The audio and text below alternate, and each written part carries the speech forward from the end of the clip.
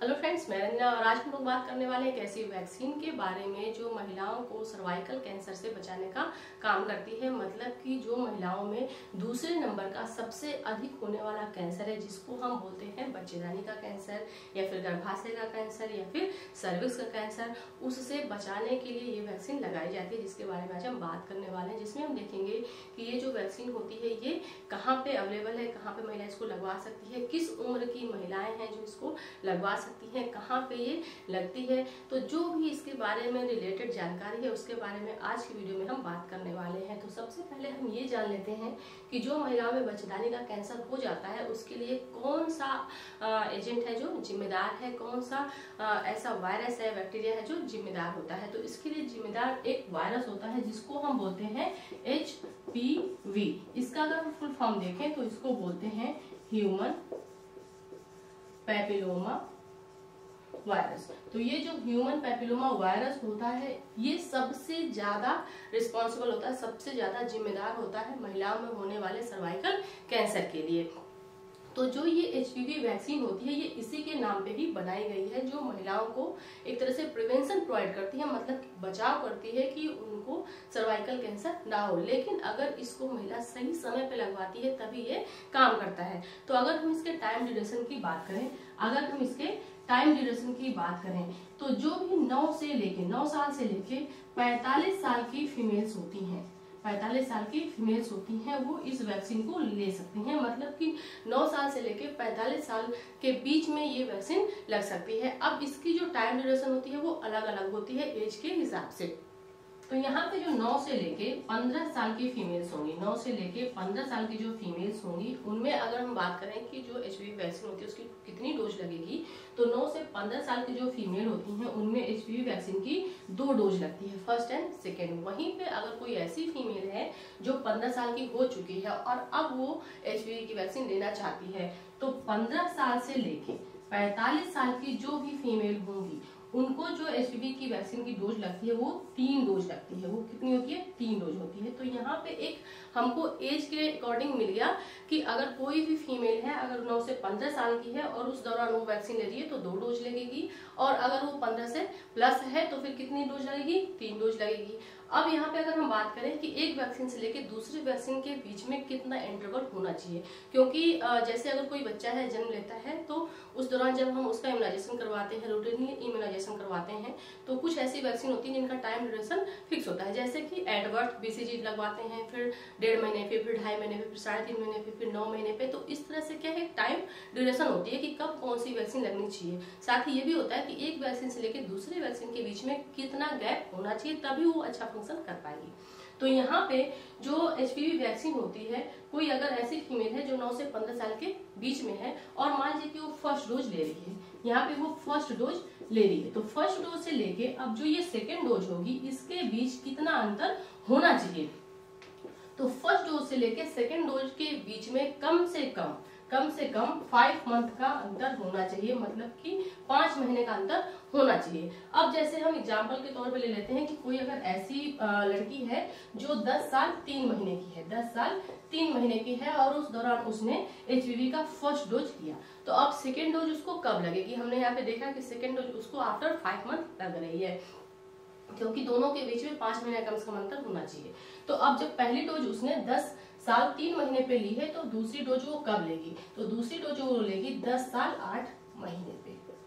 दस साल आठ महीने पे, क्योंकि पाँच महीने में इसने इसमें ऐड कर दिया। तो दस साल आठ महीने पे उसकी दूसरी डोज कंप्लीट हो जाएगी। अब अगर कोई फीमेल है जो पंद्रह साल से ऊपर की है, मान लीजिए सत्रह साल की अठारह साल की है, बीस साल की है, फिर तीस साल की है तो वो जो फीमेल होगी, उसको कितनी डोज लगेंगी? तीन डोज लगेंगी। अब इसका जो टाइम ड्यूरेशन होता है, वो कब कब होगा? तो जैसे अगर किसी भी फीमेल ने फ़र्स्ट डोज ली फ़र्स्ट डोज एचपीवी वैक्सीन की ले ली। अब सेकेंड डोज वो कब लेगी, उसकी उम्र का भी आप ध्यान रखिए। अगर एग्ज़ाम्पल के तौर पे हम ले लें कि अगर कोई भी महिला है जो सत्रह साल, तीन महीने की है, सत्रह साल, तीन महीने की है और उसने फ़र्स्ट डोज एच वैक्सीन की ले ली तो अब सेकेंड डोज कब लेगी?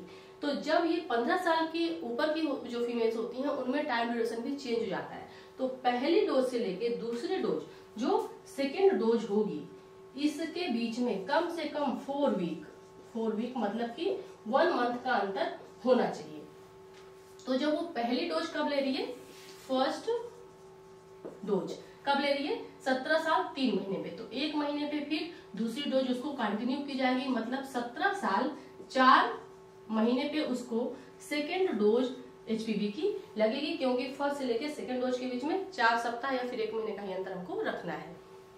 वहीं पे अब सेकेंड डोज भी कंप्लीट हो गई कब? सत्रह साल, चार महीने पे। अब जब उसको थर्ड डोज लेनी होगी तो वो कब लेगी? तो अगर हम यहाँ पे थर्ड डोज की बात करें थर्ड डोज तो थर्ड डोज कब लगेगी? तो सेकेंड से लेके थर्ड डोज के बीच में कम से कम ट्वेल्व वीक ट्वेल्व वीक का है या फिर थ्री मंथ का है इतना अंतर होना चाहिए मतलब तीन महीने का अंतर होना चाहिए सेकेंड डोज से लेकर थर्ड डोज के बीच में।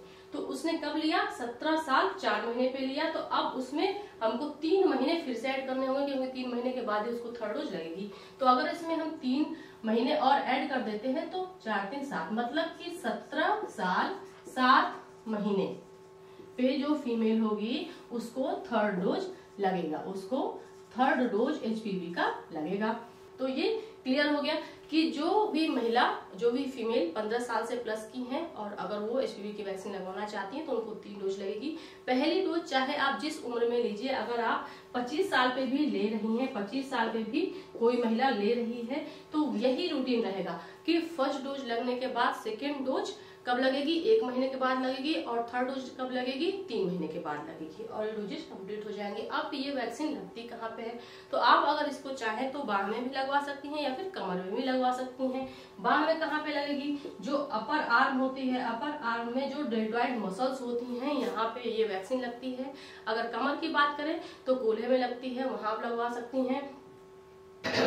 अगर हम रूट की बात करें कि किस तरह से लगती है तो आईएम लगती है मतलब इंट्रा मस्कुलर लगती है। नेक्स्ट इसमें एक और बहुत ही इंपॉर्टेंट बात कि जो ये एच वैक्सीन है, ये सिर्फ़ और सिर्फ़ सर्वाइकल कैंसर से ही नहीं बचाती, बल्कि अदर कुछ ऐसे कैंसर होते हैं, उनसे भी आपको प्रोटेक्शन प्रोवाइड करती है, जैसे कि माउथ थ्रोट नेक का कैंसर होता है, इन सबसे भी ये एक तरह से आपको सुरक्षा प्रदान करती है। अब यहाँ पे जो एच वैक्सीन होती है, ये आपके अंदर ऐसे इम्यूनिटी जनरेट कर देती है, जिसकी वजह से फ्यूचर में आपको सर्वाइकल कैंसर होने के चांस कम रहते हैं। लेकिन ये हंड्रेड परसेंट इस बात की गारंटी नहीं देती कि आपको फ्यूचर में सर्वाइकल कैंसर नहीं होगा, क्योंकि कुछ ऐसी भी चीज़ें होती हैं जिसके लिए हम खुद जिम्मेदार होते हैं। हमारी कुछ ऐसी बैड हैबिट्स होती हैं जिसकी वजह से हम लोगों को न्योता दे देते हैं। जिस तरह से जब बच्चा जन्म लेता है है तो हम उसको वैक्सीन करवा, दिलवाते हैं, जिसको बोलते हैं जैसे बीसीजी हम एग्ज़ाम्पल के तौर पे लेते हैं कि जैसे हम उसको बीसीजी लगवाते हैं एडवर्थ की फ्यूचर में उसको ट्यूबरक्लोसिस की बीमारी ना हो। लेकिन वो इस बात की हंड्रेड परसेंट नहीं होती कि वैक्सीन लगने के बाद फ्यूचर में बच्चे को ट्यूबरक्लोसिस नहीं होगा। कुछ बच्चों में हो भी जाता है। तो ये डिपेंड करता है कि आप किस तरह के इन्वायरमेंट में रह रहे हैं, आपकी जो लाइफ स्टाइल है वो कैसी है, आपका जो पर्सनल हाइजीन है वो कैसा है। क्योंकि बहुत सारी ऐसी चीज़ें होती हैं, बहुत सी ऐसी बीमारियाँ होती हैं जो हमारे गलत लाइफ स्टाइल की वजह से हो जाती हैं, गलत संगत की वजह से हो जाती हैं। तो अगर एच के बारे में आपको डिटेल में जानना है तो आप इसकी वीडियो देख सकते हैं, उसमें मैंने बहुत ही डिटेल में बताया हुआ है। फ़िलहाल आई होप कि आज की वीडियो से आपको ये पता चल गया होगा कि अगर आप ऐसी फीमेल हैं जो नौ से पंद्रह साल के बीच में सफ़र कर रही हैं, या फिर ऐसी फीमेल है जो पंद्रह या पैंतालीस के बीच में सफ़र कर रही हैं तो आपको ये वैक्सीन ले लेनी चाहिए क्योंकि फ्यूचर में आपके लिए बहुत ही अच्छी साबित हो सकती है।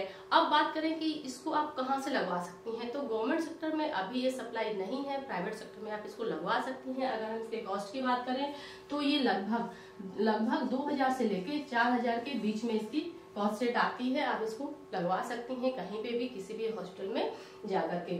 फिर भी अगर आपको किसी भी तरह का कोई डाउट है तो आप मुझे कमेंट बॉक्स में कमेंट करके बोल सकते हैं। मैं हंड्रेड परसेंट उसकी रिप्लाई देने की कोशिश करूँगी। तो आज के लिए बस इतना ही। मिलता है अगली वीडियो में। तब तक के लिए थैंक यू सो मच